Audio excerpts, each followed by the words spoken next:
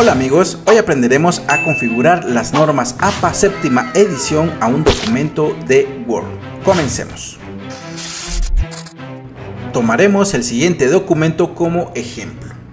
Lo primero que debemos hacer es ubicar los márgenes y nos vamos a márgenes personalizados. Aquí le vamos a colocar los márgenes de 2.54 centímetros a todos, tanto superiores como izquierdo y derecho. Recuerden, 2.54. Luego nos dirigimos a la pestaña papel y aquí vamos a seleccionar que el tamaño sea carta. Recuerden, no se permite ningún otro tamaño más. Debe ser únicamente tamaño carta. Verificamos que se aplique a todo el documento. Una vez lo tenemos, presionamos aceptar y veamos cómo se configura. Lo siguiente es ubicarnos en inicio nos vamos a donde se encuentran los estilos y en el botón más, el que tiene la flechita hacia abajo, seleccionamos el botón crear un estilo. Le vamos a colocar de nombre APA séptima y presionamos modificar. Aquí vamos a seleccionar el tipo de formato que le vamos a aplicar. La séptima edición de APA permite los siguientes formatos, por ejemplo el Calibri tamaño 11, el Arial tamaño 11 y el Times New Roman tamaño 12. Tú eliges el que más te guste. En este caso yo voy a aplicar Arial tamaño 11. En color verificamos que esté automático, o sea negro. Y la alineación debe ser a la izquierda. Verificamos estos pasos. Ahora nos ubicamos en formato y seleccionamos párrafo. Aquí configuramos lo siguiente. Verificamos nuevamente que la alineación sea hacia la izquierda. En la sangría vamos a verificar que donde dice especial vamos a elegir primera línea y aquí le vamos a colocar un tamaño de 1.27. Lo hacemos manualmente 1,27 o 1.27. Más abajo en la sección espaciado vamos a buscar interlineado y vamos a elegir doble. Una vez tengamos esto ya configurado presionamos aceptar y aceptar. Ahora lo que vamos a hacer es seleccionar todo nuestro documento, presionamos control E y vamos a aplicar nuestro formato. Damos un clic. Y por último nos ubicamos en insertar, seleccionamos números de página y los números deben de ir al principio de la página en el lado derecho. Debemos de seleccionar la tercera opción. Damos un clic y ahora cerramos el encabezado y pie de página y ya tenemos la numeración en nuestras páginas según las normas APA, la séptima edición. Los títulos y subtítulos ayudan a que los lectores encuentren los puntos clave de un documento. En el estilo APA se recomiendan hasta 5 niveles de títulos y subtítulos. Cada nivel cuenta con un formato propio. Por ejemplo, el nivel número 1.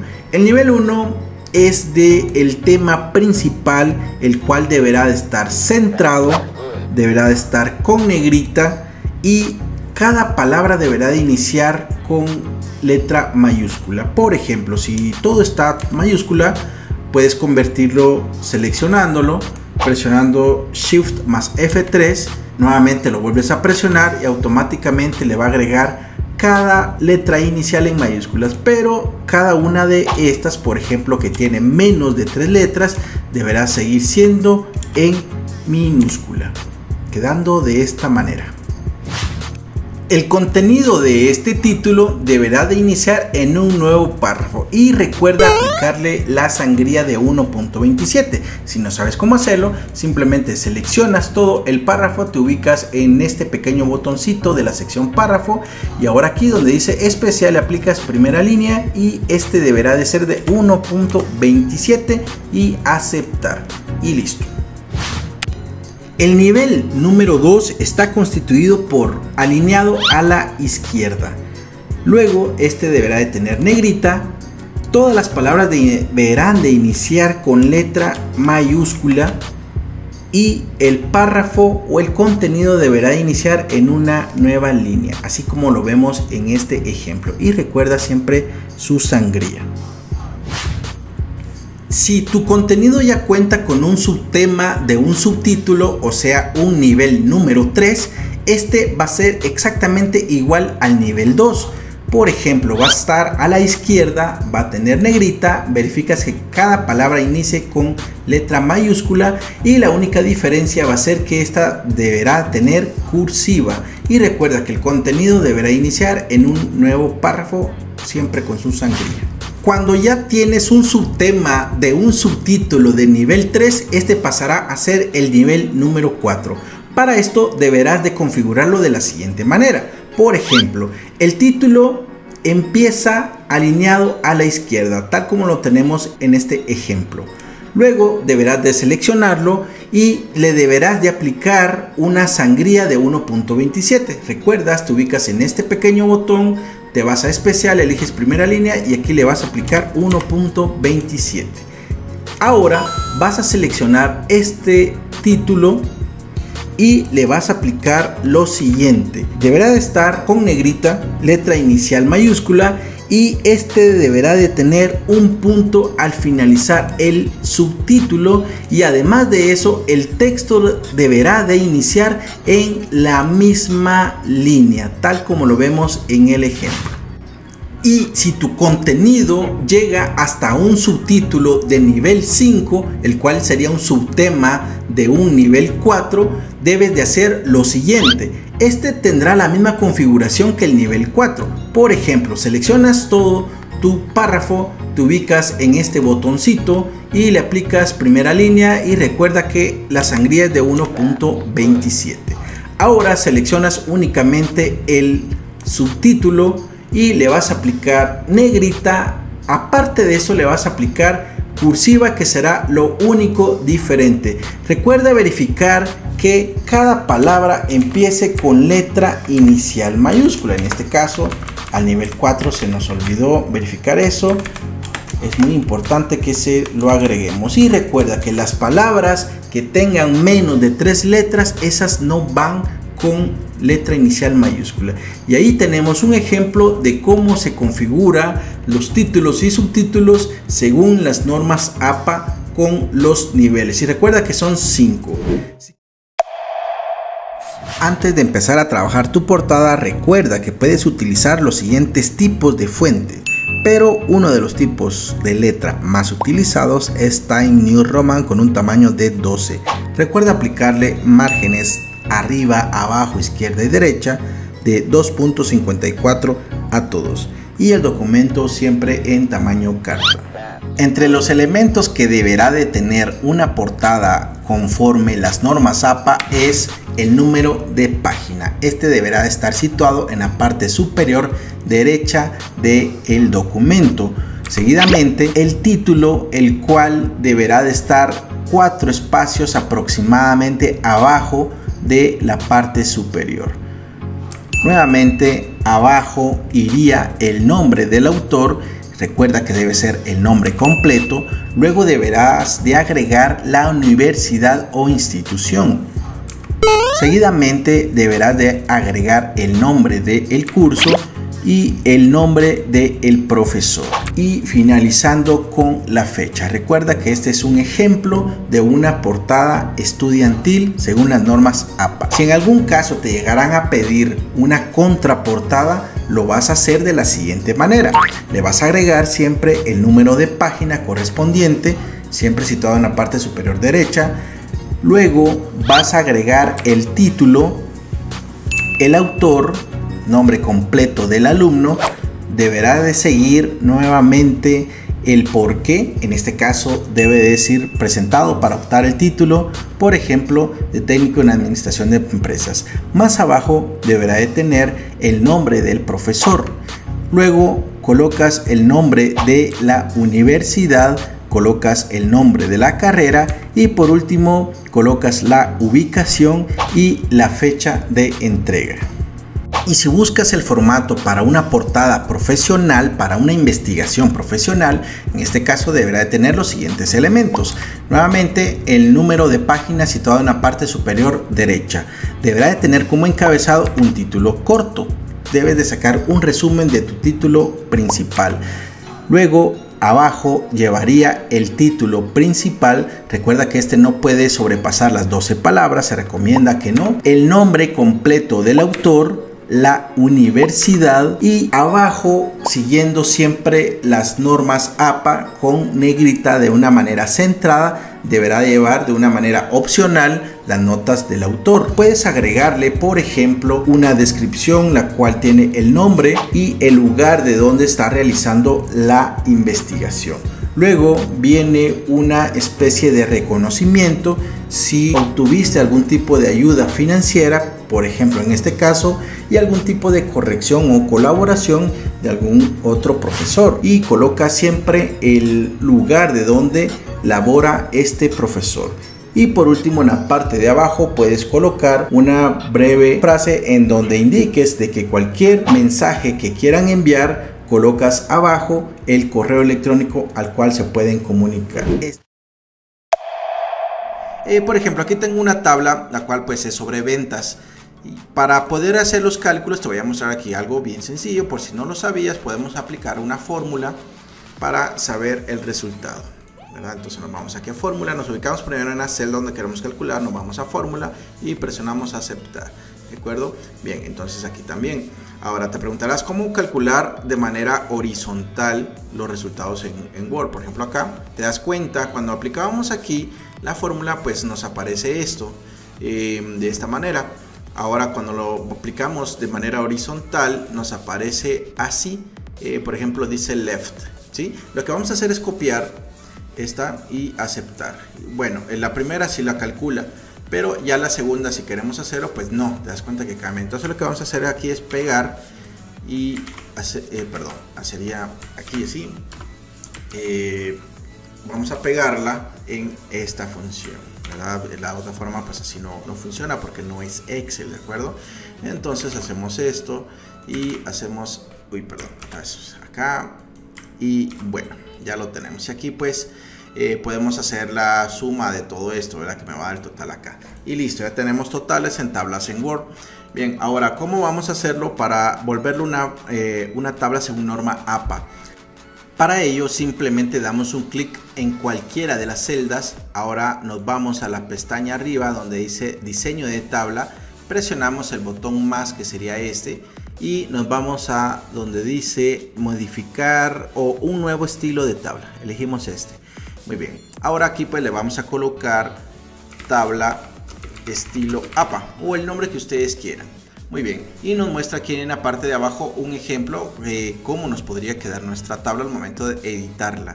Bueno, una tabla norma APA lleva un borde en la parte superior y un borde en la parte inferior y lleva un borde en el encabezado acá. Bien, entonces lo que vamos a hacer es simplemente seleccionar acá y como dice que toda la tabla ¿verdad? Dice tabla normal, toda la tabla. Eh, al momento que elija acá, vean, automáticamente se le aplica a toda la tabla, el borde a todo. Y ahora elijo el borde inferior y listo. Ahora solo me falta que aplicar el borde al encabezado. Para ello nos vamos aquí donde dice aplicar a, elegimos con encabezado y listo. Ahora simplemente vuelvo a seleccionar el borde inferior que sería este y lo aplico acá presionando aquí este botoncito y listo ya tenemos el estilo de norma APA presionamos aceptar y ahora para aplicarlo simplemente presiono nuevamente el botón más y ya lo tengo en esta zona verdad eh, sería esta. Es tabla estilo APA la selecciono y listo, ya tengo mi tabla. Recuerden que una tabla según las normas APA en la parte de arriba lleva el número de tabla, por ejemplo tabla 1, eh, tabla 5, etcétera. Y luego pues va a llevar el, el título. ¿sí? El título lo lleva con cursiva. Por ejemplo, tabla de ventas del año 2022, ¿verdad? Un ejemplo. Y luego en la parte de abajo lleva una nota. Por ejemplo, con negrita, nota. Y le vamos a agregar eh, total de ventas de los de las ventas de enero a marzo 2022. Siendo, por ejemplo, podemos colocar aquí, ¿sí? 2555. No sé, la nota que ustedes vayan a aplicar, ¿verdad? Al parecer esta lleva letra Times New Roman con número 10, ¿sí? Y listo, ya tenemos nosotros pues nuestras, em, nuestra tabla según las normas APA. Hoy aprenderemos a citar según normas APA en Microsoft Word. Comencemos.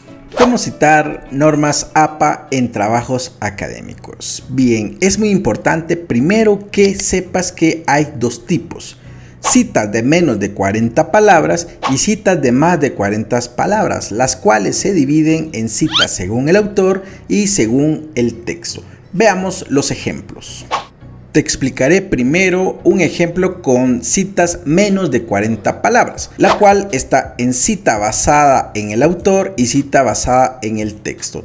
En el primer ejemplo podrás observar que aquí se encuentra el texto citado, el cual debe de estar dentro de comillas. Bien, cuando es una cita basada en el autor, primero se coloca el apellido, el primer apellido del autor, el año dentro de paréntesis y posteriormente se coloca la palabra ya sea afirma, nos dice, según, expresa, etc. Y cuando hayas finalizado con el texto citado, dentro de paréntesis se coloca el número de página tal cual se te muestra en este ejemplo. Seguidamente de un punto y seguido y continúas con el resto del texto. Ahora, ves una cita basada en el texto. Es prácticamente lo mismo, se coloca dentro de comillas el texto citado, pero posteriormente se coloca dentro de paréntesis el apellido, el primer apellido del autor, coma, el año, coma, y luego el número de página. Aquí se finaliza con un punto y seguido y luego continúas con el resto del contenido. En el ejemplo 2 veamos citas de más de 40 palabras. También se dividen en cita basada en el autor y cita basada en el texto. Veamos el primero. Aquí te podrás dar cuenta que de la misma manera se coloca el apellido del autor y el año dentro de paréntesis, coma y luego la palabra afirma, expresa, según, etcétera dos puntos y ahora el texto citado como es más de 40 palabras, se deberá de colocar en un párrafo aparte con sangría. Si no sabes hacer esto, te muestro aquí, es bastante sencillo. Simplemente seleccionas el párrafo y presionas control F. Si la primera línea no se corre, pues simplemente te ubicas ahí al inicio y presionas la tecla tabulación. Y de esta manera vas a correr todo tu párrafo con una sangría. Y recuerda que al finalizar el contenido citado, vas a colocar dentro de paréntesis también el número de la página. Esto cuando se trata de una cita basada en el autor.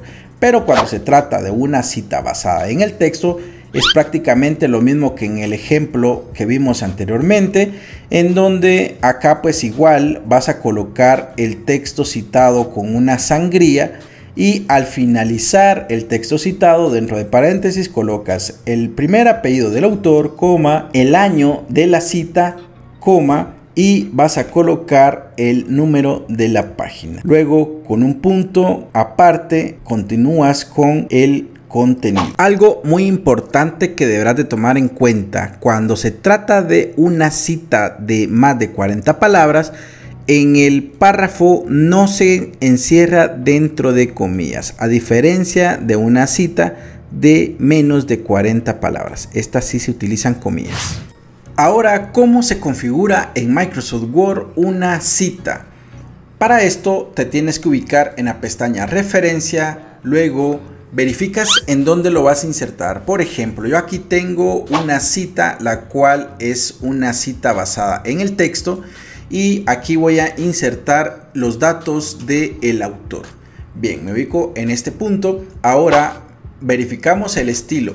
Aquí te podrás dar cuenta que yo tengo activada APA séptima edición. Si tú no lo tienes en tu Microsoft Word, te dejo este enlace que aparece en esta parte de aquí arribita, en el cual te explico cómo obtener APA séptima edición en tu Microsoft Word, para que lo cheques después de este video. Bien, selecciona séptima edición, ahora te vas a insertar cita y eliges agregar nueva fuente. Ahora lo que vas a hacer es seleccionar el tipo de fuente bibliográfica, en este caso va a ser libro, y ahora vamos a llenar los siguientes datos. Acá vamos a escribir el nombre del autor, escribimos el título, vamos a colocar el año y escribimos la casa editorial.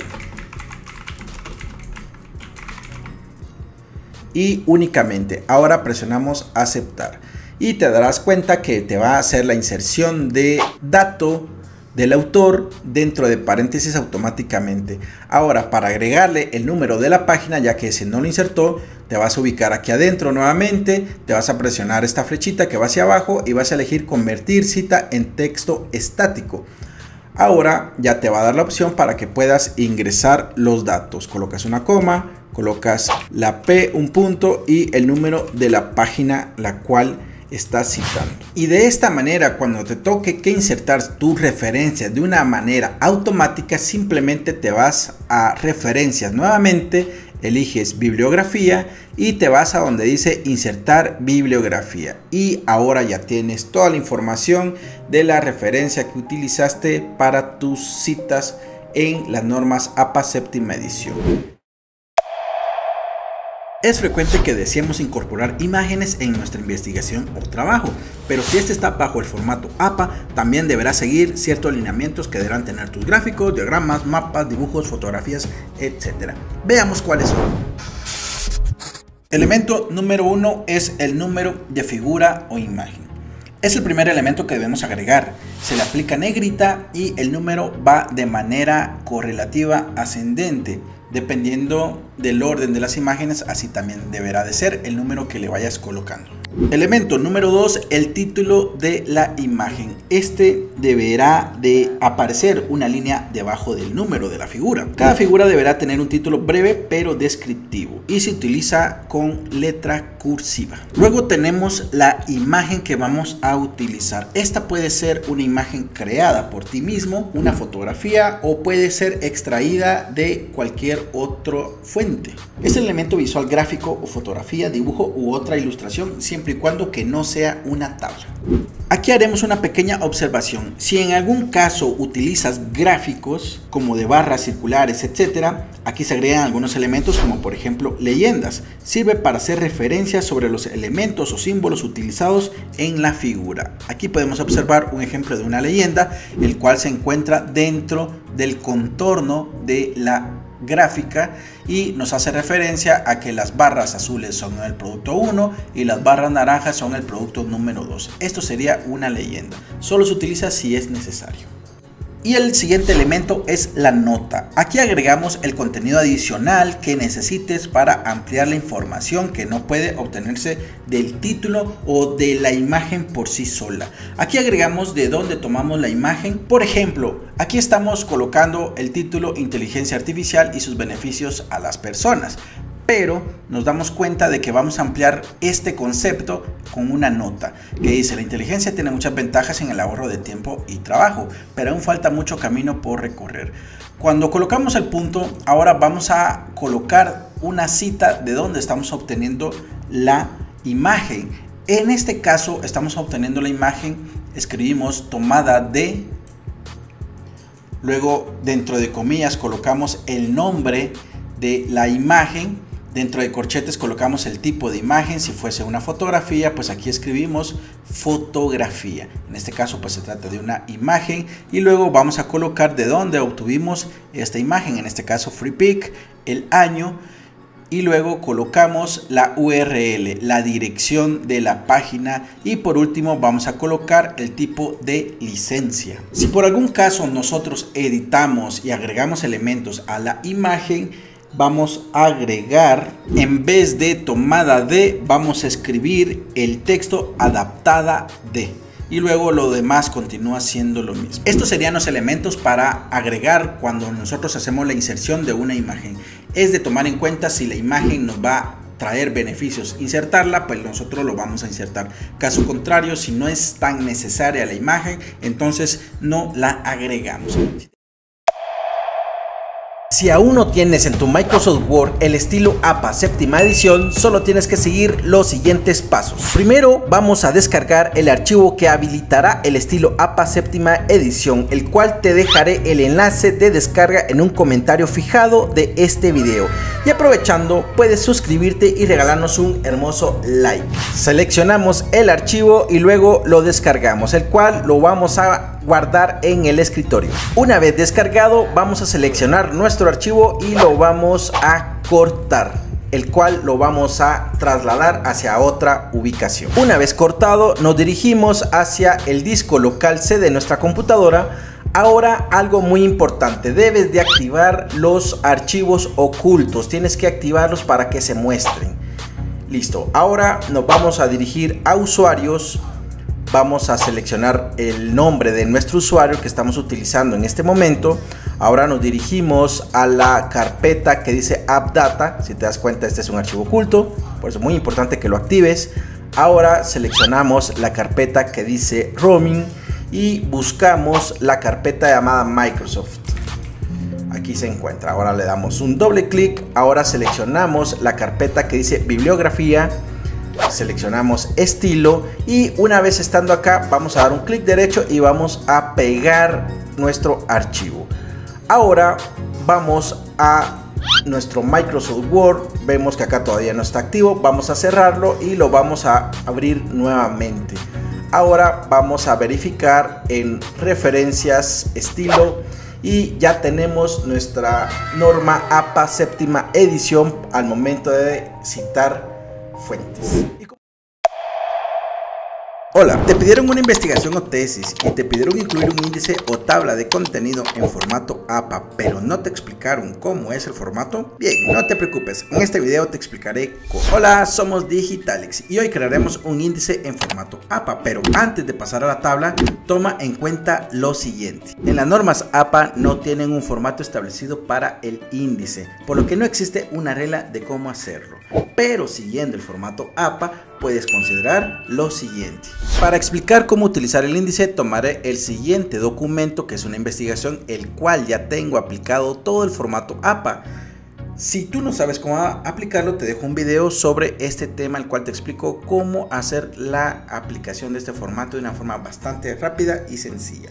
Bien, algo muy importante también que debes considerar es los títulos. Aquí dejaré esta imagen, el cual también tengo un video donde explico todo relacionado a los títulos nos vamos a basar en esta regla ya que el formato APA lo establece de esta manera. Por ejemplo, los títulos principales o nivel 1 van a estar centrados con negrita y van a iniciar con letra mayúscula cada una de las palabras. Bien, entonces nos vamos a basar en este pequeño cuadro que tengo en donde tengo los títulos con el formato que ya es establecido. Bien, aquí ya tengo un documento como te decía, ya tiene el interlineado doble y ya tiene el formato establecido. Ahora solo tengo que asignarle a cada uno de los títulos un nivel. Por ejemplo, voy a seleccionar este título de acá que es el título principal y este sería mi título nivel 1. Ahora lo que yo necesito es establecer este formato ya que más adelante me voy a topar con más títulos que también sean nivel 1. ¿Cómo hacemos eso? Voy a tomar este este título de acá y lo voy a modificar al estilo y al formato APA. Para esto puedo presionar este botoncito de los estilos y me va a aparecer este pequeño cuadro flotando. Ahora lo que voy a hacer es, por ejemplo, este es el título 1, que sería el mismo del de acá. Entonces lo que voy a hacer es darle un clic derecho a este y voy a elegir modificar. Ahora lo que voy a hacer es que le voy a aplicar el formato establecido. Como yo en este caso ya estoy utilizando un tipo de letra, el Times New Roman tamaño 12, aquí también voy a hacer lo mismo. Entonces acá elijo el Tiny Roman y le aplico el tamaño 12 y los títulos nivel 1 son con negrita y van centrados y el color automático que sería el negro. Ese no lo tenemos que em, cambiar la alineación siempre va centrado estos títulos principales. Una vez que ya tengo esto, podemos ir a formato y en párrafo y aquí verificamos lo siguiente. Verificamos la sangría, estos títulos no deben de tener ningún tipo de sangría en esta parte. Acá donde dice anterior, pues lo vamos a dejar en cero, en cero también esto y en el interlineado lo dejamos como doble. Aceptamos y aceptamos y ya tenemos el título nivel 1. Observen cómo cambió también en esta zona. Recuerden que esto nos va a servir para que ya no tengamos que hacer todo esto, sino que únicamente seleccionamos, por ejemplo, si este fuera también un título nivel 1, solo con presionarlo, automáticamente va a tomar todo el formato que yo le establecí anteriormente. Pero este va a ser un nivel 2. Entonces voy a tomarlo aquí nuevamente, este, en este cuadro flotando, clic derecho, modificar y le vamos a aplicar el formato. Para el nivel 2 Aquí dice, vamos a basarnos en este cuadrito, clic derecho, modificar y le vamos a aplicar nuevamente el Time Roman, que es el, tipo de letra que estoy utilizando, con su negrita y el color negro o automático. Y la alineación es a la izquierda, aquí no lleva ningún tipo de sangría, entonces no hay ningún tipo de problema. En párrafo verifico, esto tiene que estar a cero y el interlineado doble. Aceptamos y aceptamos.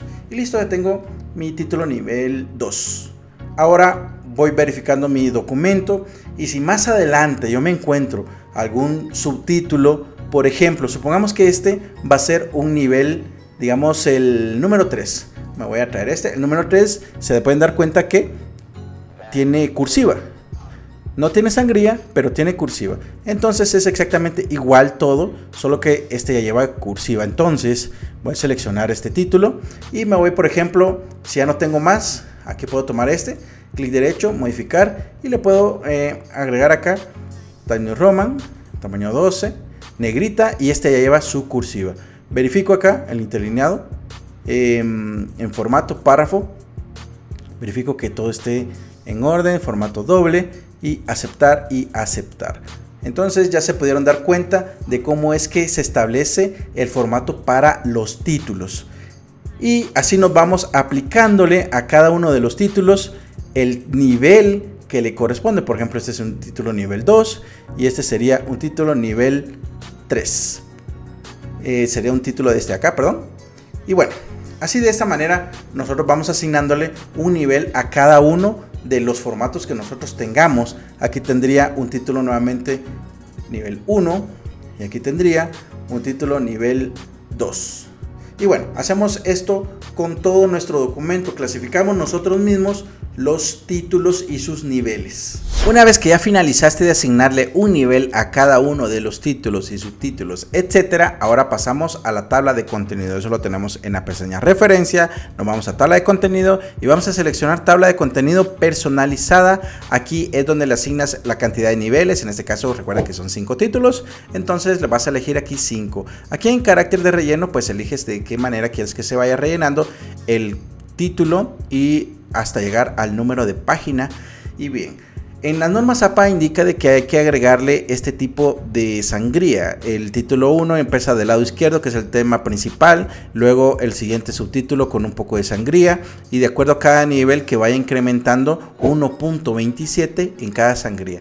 Para hacer eso nos vamos a modificar y por ejemplo, recuerda que el un número 1 que sería este, te vas a modificar y en formato verificas que no tenga ningún tipo de sangría. Aquí vemos todo cero y al interlineado doble. Muy bien, aceptar y aceptar. Ahora vamos al nivel número 2, que sería este. Seleccionamos, nos vamos a modificar y en formato párrafo verificamos que aquí tenga, aquí sí tenga 1.27.